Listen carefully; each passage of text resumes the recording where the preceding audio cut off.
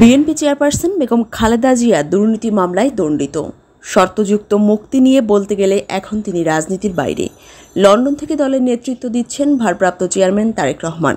তিনিও একাধিক মামলায় সাজাপ্রাপ্ত। ঢাকায় দলের নেতৃত্ব দিচ্ছেন মহাসচিব সহ অন্যান্য নেতারা। তবে বছরের পর বছর ঝিমিয়ে থাকা বিএনপিকে এই নেতৃত্ব টানতে পারছে না বলে দলের মধ্যেই আলোচনা সমালোচনা চলছে। এ কারণেই বারবার বিএনপিতে নতুন নেতৃত্বের আলোচনা আসছে।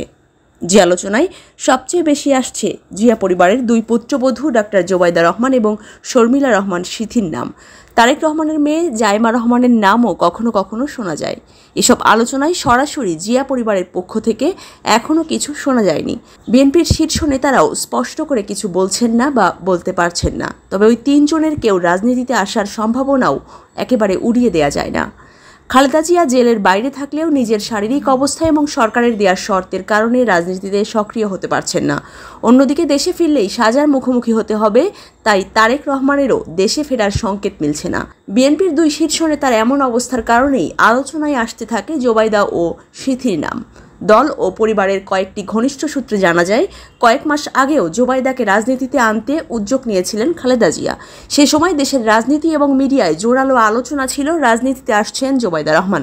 কিন্তু তারেক রহমানের অনাগ্রহের কারণে সেই আলোচনা খুব একটা এগোয়নি। সূত্র মতে জানা যায়, জুবাইদা রহমান রাজনীতিতে না গিয়ে সন্তানদের সময় দিলে পরিবারের জন্য ভালো হবে বলেই মত দিয়েছেন তারেক রহমান। তার এমন ইচ্ছায় বিষয়টি নিয়ে খালেদা জিয়াও বেশি দূর আগাননি। এমন পরিস্থিতিতে বিকল্প বা সহায়ক হিসেবে অন্য কোনো ব্যক্তির কথা নেতাকর্মীদের মাঝে আলোচনায় আসে। সেক্ষেত্রে খালেদা জিয়ার ছোট ছেলে প্রয়াত আরাফাত রহমান কোকর স্ত্রী শর্মিলা রহমান সিথির নাম চলে আসে আলোচনায়। বিএনপির একাধিক নেতার মতে, শর্মিলা রহমান সিথি নিজে রাজনীতির ব্যাপারে আগ্রহ না দেখালেও সময়ের প্রয়োজনে এবং হাইকমান্ডের নির্দেশে দলের নানা কর্মকাণ্ডে তাকে সম্পৃক্ত হতে দেখা যেতে পারে।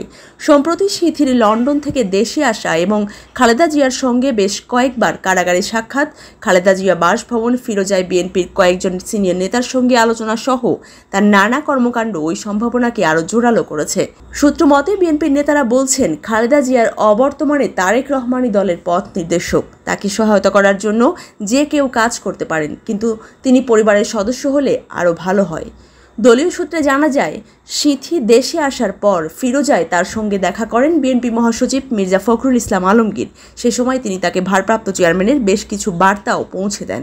এছাড়া গত সংসদ নির্বাচনে মনোনয়নের ক্ষেত্রে তার প্রভাব ছিল বলে গুঞ্জন রয়েছে। দলের নেতারা বলছেন, বিএনপির একটি অংশ এই মুহূর্তে জিয়া পরিবারের কারও রাজনীতিতে আসাকে মানতে চায় না। তাদের আশঙ্কা, রাজনীতিতে পারিবারিক উত্তরসূরির প্রাধান্য ঘটলে দীর্ঘদিন ধরে যারা রাজনীতি করছেন তারা বঞ্চিত হবেন। তবে বিষয়টি নিয়ে কেউ প্রকাশ্যে মুখ খুলতে চান না। খালেদা জিয়ার দুই পুত্রবধূ রাজনীতিতে যুক্ত হওয়ার কোনো সম্ভাবনা রয়েছে কিনা? তাদের রাজনীতিতে আগমনের নেতাকর্মীদের প্রতিক্রিয়া কেমন হবে তা জানতে চাইলে বিএনপির নির্বাহী কমিটির সদস্য অ্যাডভোকেট রফিক শিকদার গণমাধ্যমকে বলেন, স্বামীর সঙ্গে আলাপ করেই বাঙালি বধুরা সিদ্ধান্ত নেন। এটা বাংলা সংস্কৃতি। আমাদের দলের ভারপ্রাপ্ত চেয়ারম্যান তারেক রহমান যদি সিদ্ধান্ত নেন, নিশ্চয়ই দলের সবাই এটা মেনে নেবে। তবে এই মুহূর্তে এ ধরনের কোনো আলোচনা আমাদের মধ্যে নেই। সহ সাংগঠনিক সম্পাদক অ্যাডভোকেট আব্দুস সালাম আজাদ গণমাধ্যমে বলেছেন, আমরা এগুলো নিয়ে ভাবছি না। যদি দলের প্রয়োজন হয়, আমাদের ভারপ্রাপ্ত চেয়ারম্যান তারেক রহমান সে ব্যাপারে সিদ্ধান্ত নেবেন। আর বিএনপি সাংগঠনিক সম্পাদক অ্যাডভোকেট রুহুল কুদ্দুস তালুকদার দুলু গণমাধ্যমে বলেন, বিএনপি চেয়ারপারসন খালেদা জিয়া বা ভারপ্রাপ্ত চেয়ারম্যান তারেক রহমান যদি চান, তারা যদি আসেন, তাতে অখুশি হওয়ার কোনো কারণ নেই। বরং সবাই খুশি হব। বাংলাদেশের মানুষ তাদের দলে স্বাগত জানাবে। দলের ভাইস চেয়ারম্যান ও জিয়া পরিবারের আইনজীবী অ্যাডভোকেট আহমেদ আজম খান বলেন, এই মুহূর্তে এ ধরনের কোনো আলোচনা আমরা শুনিনি। ডাক্তার জোবাইদা রহমানের যে পারিবারিক ঐতিহ্য, তাতে তিনি যদি রাজনীতিতে আসেন, বাংলাদেশের মানুষ সেটা খুবই ইতিবাচকভাবে গ্রহণ করবে। সরকার তার ভাবমূর্তি নষ্ট করতে বানোয়াট ভিত্তিহীন মামলা দিয়েছে। ভবিষ্যতে তিনি রাজনীতি করতে পারেন এ নিয়ে ভীত হয়ে সরকার এটা করেছে। রাজনীতি বিশ্লেষক মহিউদ্দিন খান মোহন গণমাধ্যমে বলেন, খালেদা জিয়ার দুই পুত্রবধূর সঙ্গে ব্যক্তিগতভাবে অসংখ্যবার কথা বলার সুযোগ হয়েছে। ডাক্তার জোবাইদুর রহমান যদি রাজনীতিতে আসেন, তাহলে বাংলাদেশের রাজনীতিতে সাইক্লোন তৈরি হবে। তবে তারেক রহমানের ইচ্ছার বাইরে তিনি আসবেন বলে মনে হয় না।